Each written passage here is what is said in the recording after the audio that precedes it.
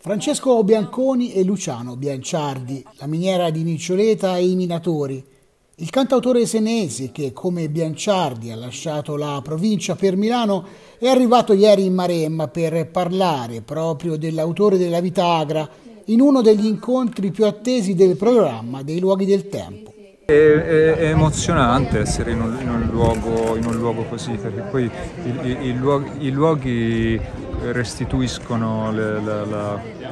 il sentimento, è come se ci fossero, poi le, rimanessero le tracce anche delle persone, in questo caso che ci hanno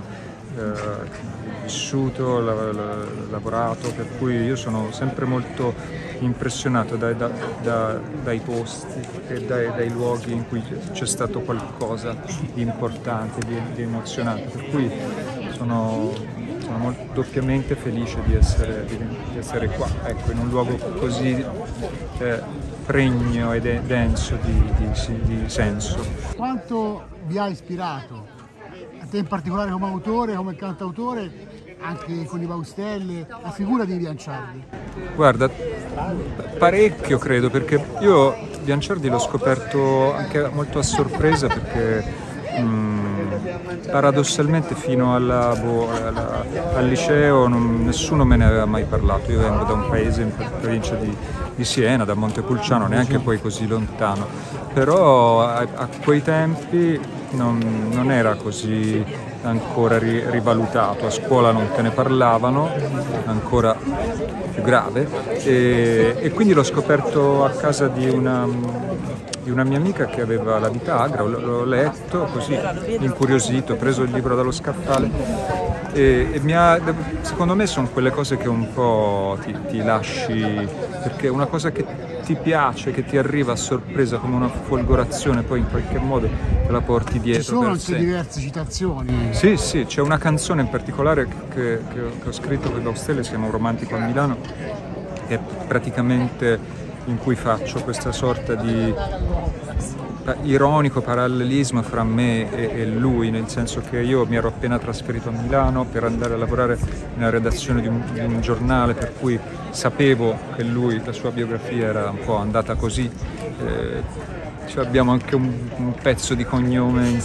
in comune, eh, che lui aveva insomma, lasciato la, la, provincia per andare a Milano per una questione di, di, lavoro, per entrare a lavorare in questo... Per cui boh, mi ha sempre molto intrigato, ci, ci, boh, una sorta, sai, di quelle come un nonno a distanza, una sorta di, di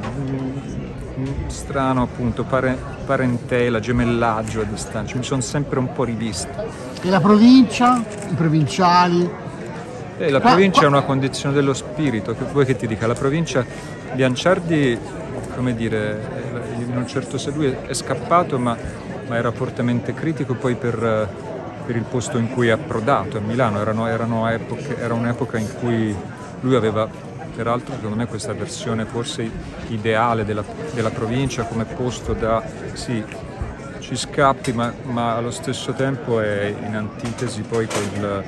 con, con, quello che era diventato negli anni 50 la città che stava diventando, quindi spersonalizzata, alienante, eh, la città insomma, in cui nessuno, se uno casca per terra perché sta male, nessuno si, si china ad aiutare, per cui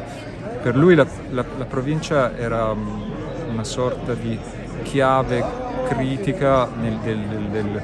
consumismo e del cosiddetto miracolo economico che stava per accadere. Lui prima di altri l'ha vista questa cosa, prima di Pasolini ad esempio. Bianconi, da sempre legato alla Maremma, ha ricordato durante il suo intervento di quando da bambino raggiungeva la nostra costa per venire al mare. Io mi ricordo quando venivo qua